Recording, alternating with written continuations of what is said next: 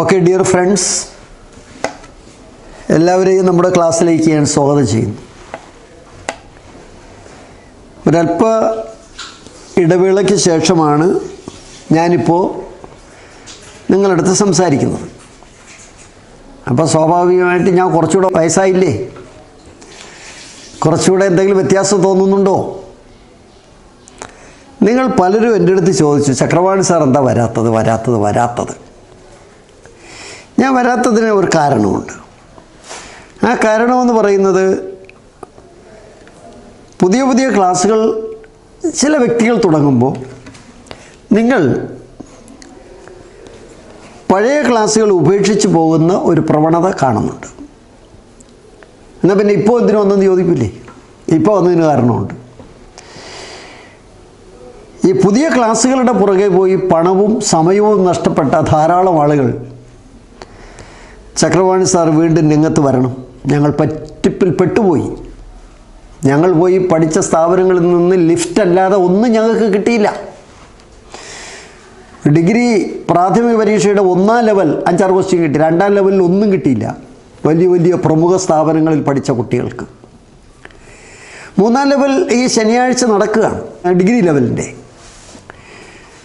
അപ്പോൾ സ്വാഭാവികമായിട്ടും നമ്മുടെ ക്ലാസ്സുകൾ താല്പര്യമില്ലാതെ പോയ കുട്ടികൾ ഇപ്പോൾ ഒന്ന് തിരിച്ചു വന്നാൽ എത്തുന്നൊരാഗ്രഹം ഞാനിത് പറയുമ്പോഴത്തേക്ക് ഇവിടെ സബ് ഇൻസ്പെക്ടർ പരീക്ഷയ്ക്ക് ഇന്റർവ്യൂ ക്ലാസ് ഉണ്ടായിരുന്നു. കാസർഗോഡ് മുതലുള്ള കുട്ടികൾ വന്നിരുന്നു. ആദ്യത്തെ ക്ലാസ്സിൽ ഏകദേശം ഇരുന്നൂറോളം പേര് പങ്കെടുത്തു. അവസാനം നൂറ് നൂറ്റൻപത് കുട്ടികൾ അവസാനത്തെ ഫൈനൽ ഇന്റർവ്യൂ നാല് സ്റ്റേജിൽ ഇന്റർവ്യൂ നടത്തിവിട്ടതാണ്. അപ്പോൾ അവരുടെ അടുത്ത് ഞാൻ ചോദിച്ചു എന്താ നിങ്ങൾ ഇത്രയും പേര് കാസർഗോഡ് നിന്ന് ഇതുവരെ വരാനുള്ള കാരണം? സാർ അത് സാറിന്റെ ക്ലാസ്സുകൾ ഞങ്ങൾ കണ്ടിട്ടുണ്ട്. അതിന്റെ അടിസ്ഥാനത്തിലാണ് ഇവിടെ വന്നത്. അപ്പോൾ നമ്മുടെ ക്ലാസ്സുകൾ നിരന്തരം കണ്ടവർക്ക് അതിന്റെ ബെനിഫിറ്റ് കിട്ടിയിട്ടുണ്ട്. പക്ഷേ എന്നാലും നിങ്ങൾ പൈസ കൊടുത്തേ കാണും. നിരാശരാകും. കുറേ നാൾ ആ മൊബൈലിൽ നോക്കിക്കൊണ്ടിരുന്ന് നിങ്ങൾ ആപ്പായി മാറും. അങ്ങനെ മാറിയ എന്റെ ചില സുഹൃത്തുക്കൾ വീണ്ടും ഒരു ക്ഷമാ പറഞ്ഞില്ലെങ്കിൽ പോലും ക്ഷമാപണം നടത്തി. തെറ്റായിപ്പോയി സാർ. ഞങ്ങൾ പോയത് തെറ്റായിപ്പോയി ഇത് മതിയായിരുന്നു.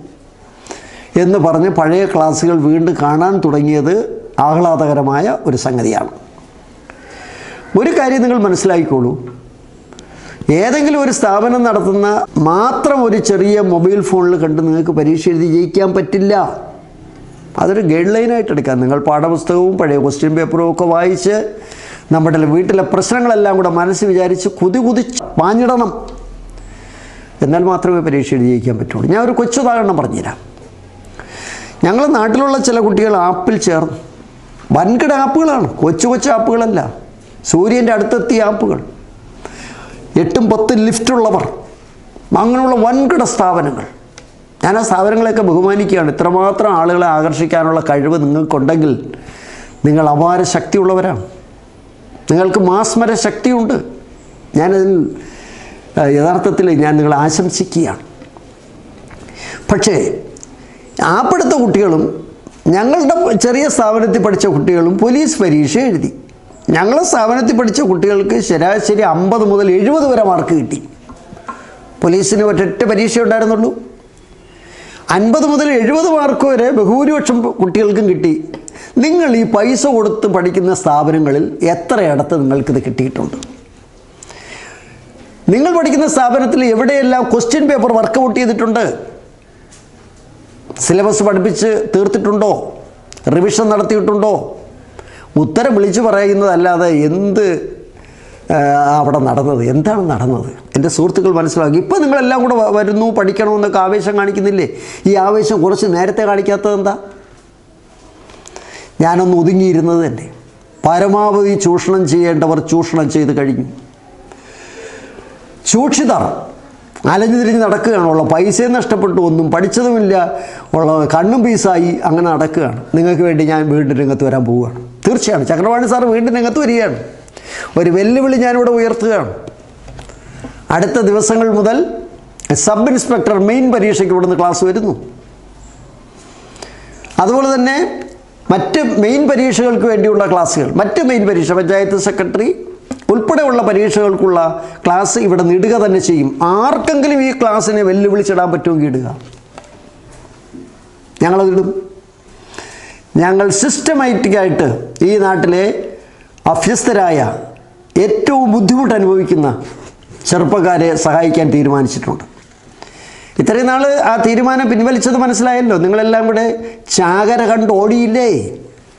എന്നിട്ട് എന്തായടോ നമ്മളെ ക്ലാസ് കണ്ടുപഠിച്ചവർ എത്രയോ പേർ ആയിരക്കണക്കിന് ആളുകൾ അതുകൊണ്ട് ജോലി ലഭിക്കുമ്പോൾ നിങ്ങൾ ആപ്പിൽ കുരുങ്ങിപ്പോയില്ലേ അതുകൊണ്ട് ഇനി കൈയും കെട്ടി നോക്കിയിരുന്നാൽ അത് ഞാൻ ഈ സമൂഹത്തോട് ചെയ്യുന്ന ഒരു ചതിയായിരിക്കും. ഒരുപക്ഷെ ഞാൻ അന്ന് പറഞ്ഞാൽ നിങ്ങളിത് വിശ്വസിക്കില്ല. കാരണം നിങ്ങൾ പത്രം നിറച്ച് പരസ്യം വേണം. ആ പരസ്യം കണ്ടാലേ നിങ്ങൾ കാണുകയുള്ളൂ നിങ്ങൾക്ക് ജോലിയല്ല ആവശ്യം? നിങ്ങൾക്ക് പറയണം ഞാൻ ഇന്നിടത്തെ ആളാണ് ഞാൻ പതിനായിരം രൂപ കൊടുത്ത് ചേർന്നവനാണ്. ഞാൻ ഫസ്റ്റ് ഫ്ലോറിൽ നിന്ന് ഫോർത്ത് ഫ്ലോറിൽ ഞാൻ ലിഫ്റ്റിലാണ് പോണത് എന്ന് നിങ്ങൾക്ക് പറയണം. അഭിമാനം കൊള്ളണം. എനിക്ക് അഭിമാനം കൊള്ളുന്നവരല്ലേ ആവശ്യം? ഉള്ളിൽ തീയുള്ളവർ ജോലിയില്ലെങ്കിൽ മുന്നോട്ട് ജീവിക്കാൻ പറ്റാത്തവർ വയസ്സുകാലത്ത് അച്ഛനെയും അമ്മയെയും സംരക്ഷിക്കാൻ ഒരു തൊഴിൽ ഉണ്ടാക്കാൻ വേണ്ടി ശ്രമിക്കുന്ന ഈ നാട്ടിലെ സാധാരണക്കാരായ ചെറുപ്പക്കാരെയും ചെറുപ്പക്കാരികളെയും സഹായിക്കാൻ വീണ്ടും ഞങ്ങളുടെ ടീം വരികയാണ്. ഇതൊരു വെല്ലുവിളി ആണെന്ന് ആരും കരുതണ്ട പക്ഷെ വരും. നാലണ ചെലവില്ലാതെ ഏറ്റവും മെച്ചപ്പെട്ട വിദ്യാഭ്യാസം നിങ്ങൾക്ക് ഞാൻ തരും. നിങ്ങളെ ഞാൻ പറ്റിക്കില്ല. തീർച്ചയാണ് നിങ്ങൾ പറഞ്ഞു പറ്റിക്കില്ല. നിങ്ങൾ റിസൾട്ട് തിരക്കണം. എവിടെയാണ് റിസൾട്ട് ഉള്ളത് ഞങ്ങൾ സ്ഥാപനത്തിലെ ജോലി കിട്ടിയ കുട്ടികളെല്ലാം കൂടി ഒരു വൻ പാർട്ടി നടത്താൻ പോവുകയാണ്. ജോലി കിട്ടി ഈ അടുത്ത കാലത്ത് ജോലി കിട്ടിയ കുട്ടികളെല്ലാം കൂടി. എത്ര പേരാ ജോലി കിട്ടി പോകുമെന്നറിയാം നിങ്ങളുടെയൊക്കെ സ്ഥാപനങ്ങളിൽ എന്താണ് അവസ്ഥ? ഉത്തരം വിളിച്ച് പറഞ്ഞാൽ മാത്രം മതിയോ? കുട്ടികൾ അവിടെ ജയിക്കണ്ടേ? പോലീസിന്റെ റിസൾട്ട് വന്നപ്പോഴത്തേക്ക് എന്താ ഈ കുട്ടികൾ ഈ സ്ഥാപനത്തിലേക്ക് വീണ്ടും വീണ്ടും പഠിക്കാനായിട്ട് വരാൻ താല്പര്യം എടുക്കുന്നത് അത് ഈ സ്ഥാപനം ഈ സമൂഹത്തോട് കാണിച്ച ആത്മാർത്ഥതയാണ് അതിന് കാരണമെന്ന് ഞാൻ വിശ്വസിക്കുകയാണ്. അപ്പോൾ ഡിഗ്രി മൂന്നാം ലെവൽ അല്ലെങ്കിൽ പ്രാഥമിക പരീക്ഷയുടെ മൂന്നാം ഘട്ടം ഈ ശനിയാഴ്ച എഴുതുന്ന എന്റെ എല്ലാ സുഹൃത്തുക്കൾക്കും എല്ലാവിധ വിജയാശംസകളും നേരുന്നു. നെഗറ്റീവ് എഴുതരുത് ഗുഡ് ബൈ ടു നെഗറ്റീവ് ഉത്തരങ്ങൾ തിളങ്ങും. ഇതൊക്കെ കേട്ടിട്ട് കുറച്ച് നാളായല്ലേ? കുറച്ച് നാളായോ ഇതൊക്കെ കേട്ടിട്ട്? ഉത്തരങ്ങൾ തിളങ്ങൂടോ നെഗറ്റീവ് എഴുതരുത്. അറിയാമെന്നുള്ള എഴുതിയിട്ട് പേന പുറത്തേക്ക് എറിഞ്ഞു കളയുക. അപ്പോൾ പിന്നെ നെഗറ്റീവ് എഴുതാൻ തോന്നില്ല. എന്റെ സുഹൃത്തുക്കൾ അത് ശ്രദ്ധിക്കുമെന്ന് ഞാൻ വിശ്വസിക്കുകയാണ്. മറ്റൊരു കാര്യം ഈ പോലീസ് പരീക്ഷ എഴുതി ഒരു നാൽപ്പത് മാർക്ക് കിട്ടിയ കുട്ടികൾ ഫിസിക്കലിന് തയ്യാറാകണം. അത് മറ്റ് റിസർവേഷൻ ഉള്ളവർ ഒരു മുപ്പത് മുപ്പത്തഞ്ചുള്ളവർക്കും തുടങ്ങാം നാൽപ്പത് മാർക്കിൽ കൂടുതൽ കിട്ടിയ കുട്ടികൾ ഫിസിക്കലിന് തയ്യാറാകണം. ഇവിടെ ഫിസിക്കലിന് ഉള്ള തയ്യാറെടുപ്പ് നടക്കുകയാണ്. ഒരു പുതിയ ഗ്രൗണ്ട് കൂടി ഉണ്ടാക്കി. അടുത്ത വ്യാഴം വെള്ളി ദിവസങ്ങളിൽ ഫിസിക്കലിന്റെ പരിശീലന പരിപാടികൾ ആരംഭിക്കുകയാണ്. പെൺകുട്ടികൾക്ക് അവരുടെ പരീക്ഷ കഴിഞ്ഞതിന് ശേഷമാണ് പെൺകുട്ടികളുടെ പോലീസ് കോൺസ്റ്റബിൾ പരീക്ഷയ്ക്കുള്ള തീവ്ര പരിശീലന ക്ലാസ്സുകൾ നടക്കുകയാണ്. ആൺകുട്ടികൾക്ക് ഇങ്ങനെ അമ്പത് മുതൽ എഴുപത് വരെ മാർക്ക് കിട്ടിയപ്പോൾ അവർക്ക് ആവേശമായി. അവർക്കും പ്രതീക്ഷയുണ്ട്. അതുകൊണ്ട് അവരെയും രക്ഷപ്പെടുത്താനുള്ള ശ്രമം ഞങ്ങൾ നടത്തുകയാണ്. എസ് ഐയുടെ റാങ്ക് ലിസ്റ്റ് വന്നിട്ടുണ്ട്. എല്ലാവർക്കും എന്റെ ആശംസകൾ. എല്ലാവരും ഇത് കാണുന്നുണ്ടെന്നാണ് ഞാൻ വിശ്വസിക്കുന്നത്. നിങ്ങൾ റാങ്ക് അഞ്ച് കിട്ടിയവരുണ്ട് പതിനേഴ് കിട്ടിയവരുണ്ട് ഇരുപത്തിമൂന്ന് കിട്ടിയവരുണ്ട്. പല റാങ്കുകൾ കിട്ടിയ നിങ്ങൾ പലരും എന്നെ വിളിക്കുകയും സംസാരിക്കുകയും ചെയ്തിട്ടുണ്ട്. അതിയായ സന്തോഷമുണ്ട്. വെറും നിങ്ങൾക്ക് കിട്ടിയ സേവനം എന്ന് പറയുന്നത് ഓൺലൈനിലുള്ള ചില ക്ലാസ്സുകളും പിന്നെ ഇവിടെ മൂന്നോ നാലോ ദിവസം നടന്ന ഇന്റർവ്യൂ പരിശീലന ക്ലാസ്സുകൾ. അത് തീവ്രമായ ഇന്റർ ഇന്റർവ്യൂ പരിശീലനമായിരുന്നു. രണ്ട് ദിവസങ്ങളിലും ഫുൾ ടൈം ക്ലാസ് ആയിരുന്നു എടുത്തത്. പിന്നെ മോഡൽ ഇന്റർവ്യൂ നടത്തി. ഇതെല്ലാം നിങ്ങൾ ഓർക്കും എന്ന് ഞാൻ വിശ്വസിക്കുകയാണ്.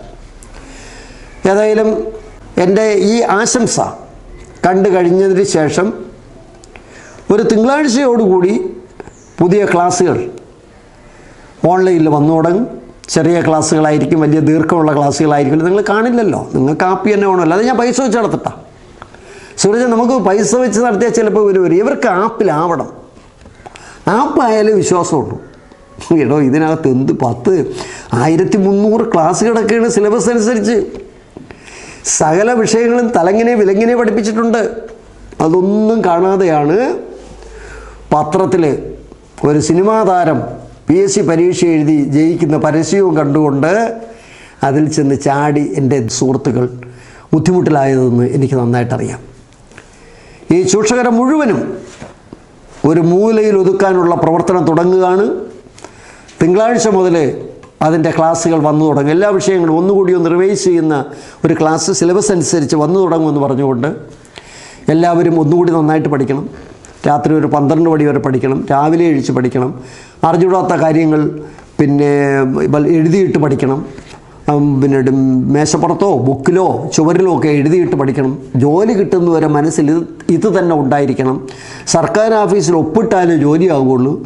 പരിശ്രമിച്ച് ജോലി കിട്ടാത്ത ഒരാളുമില്ലെന്ന് പറഞ്ഞുകൊണ്ട് പരിശ്രമിച്ചാൽ ജോലി കിട്ടുമെന്ന് ഉറപ്പിച്ച് പറഞ്ഞുകൊണ്ട് പഠിക്കുന്നവർക്ക് ഉത്തരം തിളങ്ങുമെന്ന് പറഞ്ഞുകൊണ്ട് നെഗറ്റീവ് എഴുതരുതെന്ന് ഒരിക്കൽ കൂടി റിക്വസ്റ്റ് ചെയ്തുകൊണ്ട് ഞാനിപ്പോൾ പിൻവാങ്ങുന്നു. നന്ദി നമസ്കാരം.